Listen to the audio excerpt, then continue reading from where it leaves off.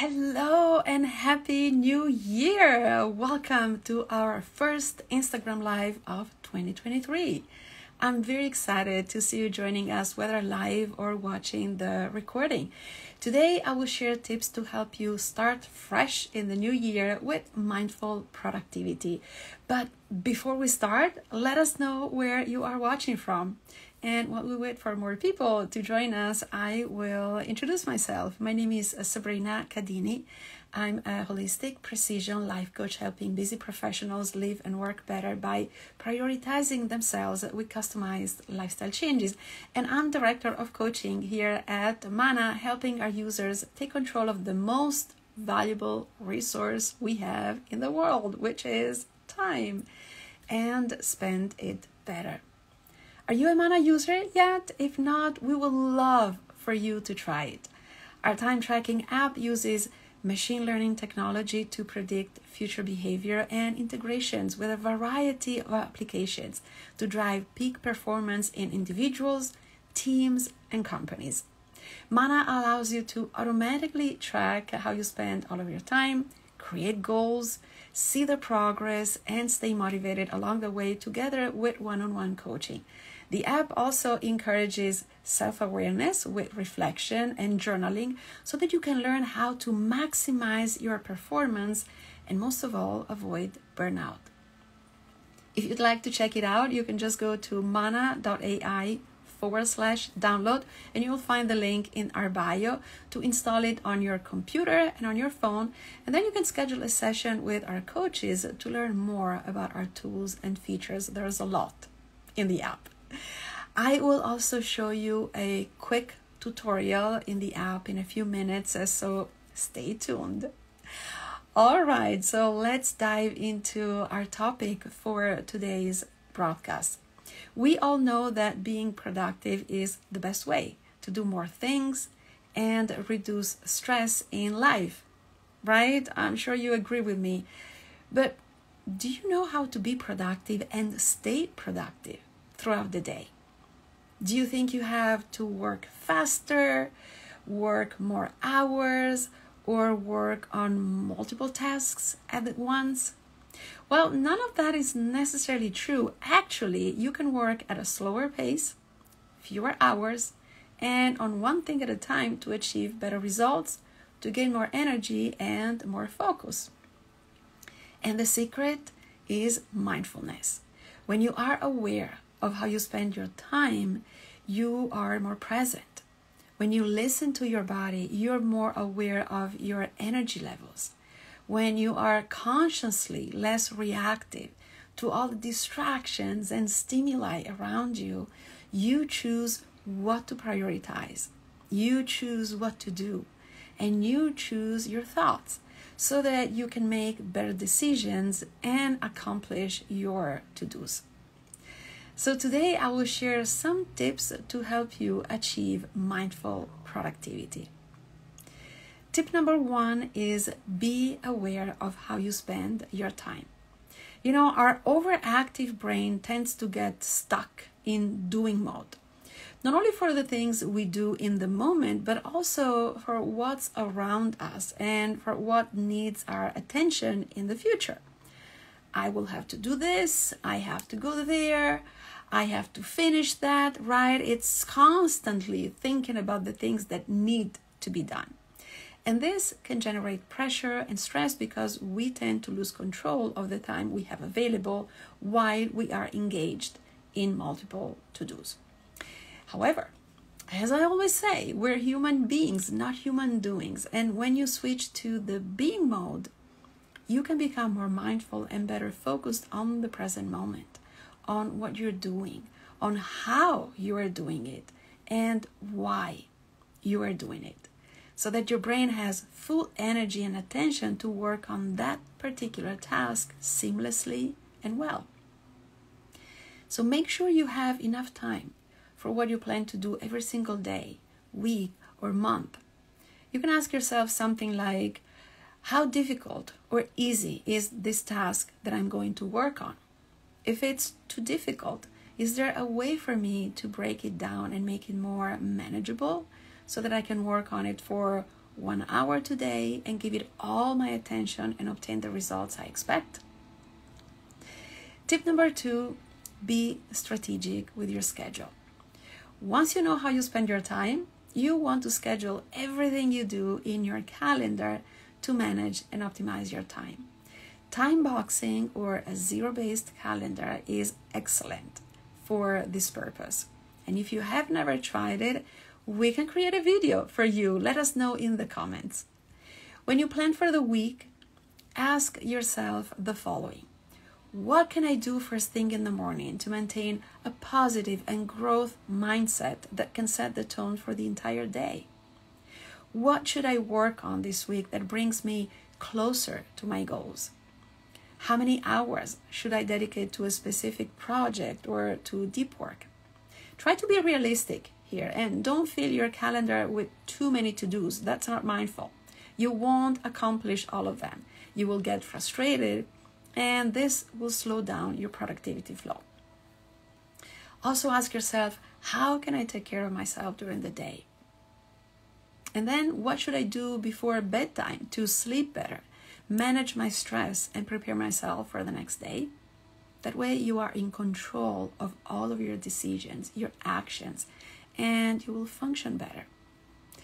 And then at the end of the week, go over everything that you have done and take a look at what you accomplished, if you obtained the results you were expecting. Or maybe you need to change some habits, move some work hours around to match your energy levels. Or maybe you have to prioritize your to dos better it's all about being aware of and intentional about how you perform so that you can maintain high levels of productivity mindfully and consistently.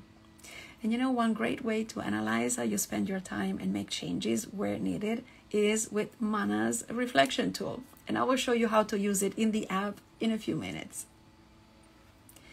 Tip number three is avoid procrastination. This is obviously, right? A good tip.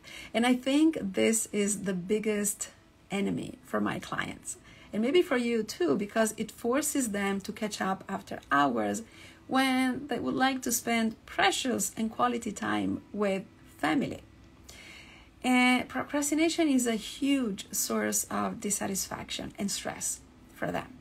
Now, don't get me wrong, life happens and sometimes things get in the way and you can't always finish your work in time.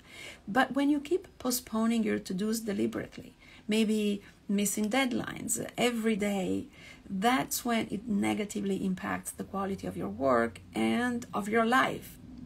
So, again, be mindful and listen to your body.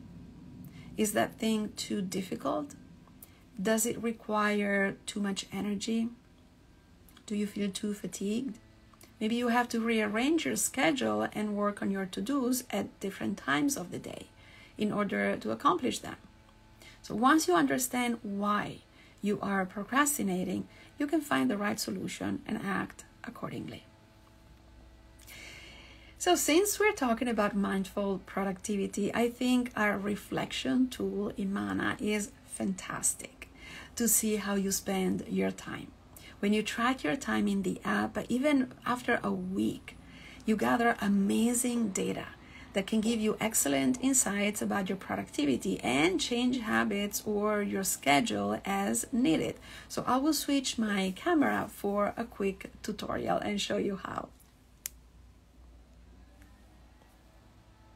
So here I'm showing you the reflection tab of the app and as you can see all of my time is categorized under health, work, and then I have my work hours for mana, my growth, my fun hours. And when I click on each category, this shows me different activities that I worked on, or better yet, that I tracked in the app. See, I have a gazillion of elements or activities, as we call them, all again categorized. This is my health uh, bucket. And as you can see, there's the element and then how much time I spent for each one every week. Now, the app also gives you different options. You can see the time you spend by week, by day, by month, by quarter, by year. And when you go to the year view, that I can guarantee you can be a very eye opening activity. For instance, I spent in 2022, I spent 182 hours getting ready in the morning for my day. I spent 54 and little more, like 15 minutes, uh, 54 hours and 15 minutes for my nails, beauty lab, you know. Uh, I spent 122 hours getting ready for bed in the evening. Isn't this amazing? Would you be ever be able to quantify your time if you didn't track it? Maybe not, because this is usually time that you don't think about, but it's still part of your 24 hours. It's still part of your day. And then the eating category is what I did related to that activity. My breakfast, my lunch, dinner with my son and his wife. Again, a lot of different things. And then my work, this is my coaching practice. These are all the hours that I spent for my client. And uh, coaching, for instance, I spent uh, about 318 hours coaching my clients with full coaching sessions. And then the laser coaching sessions, they were 81 hours. You know, it is amazing. And then if you want to reflect on that, uh, this is something that you can do at the end of the week. So at the end of the week, you take a look at the numbers and see where you have to make changes. And if everything looks great, fine, awesome, you're doing amazing. If something needs to change, you decide what you want to do with that the time that you spend and you make changes accordingly on your schedule. Also, there's an ability to reflect in the app, which I think is one of the best tools available. For instance, last week I spent 30 minutes with my personal coach. You know, coaches have coaches as well, right? We need guidance as well. And so it, this was an amazing session and it gave me a great perspective about something that I felt stuck with. So if I want to share something, I just click on the number and here the app opens to a new uh, page where you can decide how it was so here I will select a very happy emoji and then you can write some notes for yourself. And once you write the note, it will remain in the history. See journal entries so you can see if there are any trends or patterns that you want to take a look at. And again, those might help you change your habits. It also gives you uh, an average of the time that you spend. See, I didn't have any session on December 11th because I was busy at the time, so I had to postpone it. But I was pretty consistent with my sessions every single week, and that makes me very happy because it keeps me motivated. So, again, I think the reflection tool in the app is very useful because it gives you a lot of information about what you're doing, about your habits, about your schedule. Because again, all of your work hours can be tracked in the app as well. And then at the end of the week, you can reflect and ask yourself Did I spend my time wisely? Did anything need to change? Right? And so you can make changes accordingly. So let me know if you have any questions regarding the topic for today or about our app. Mana, I am here to help, and I'll wait for a few seconds while you type your questions in the comment box below. In the meantime, make sure that you follow us uh, at Mana Hours here on Instagram. We are also on Twitter, on LinkedIn, and we have a channel on YouTube. So make sure you watch our previous recordings here or on YouTube to, to learn more about our tools and to learn more about different tips that I, we shared in two years, yeah, in about two years of our presence here on social media. And of course, if you want to try the app, go to mana.ai forward slash uh, download. You can also find the link in our bio to install it on your computer and on your phone. And then you can schedule an onboarding session with our coaches to learn more about our tools and to take full advantage of the app. Thank you so much for watching. Happy New Year again. I really hope you will have a very productive 2023 and we'll see you in a few weeks with another live broadcast.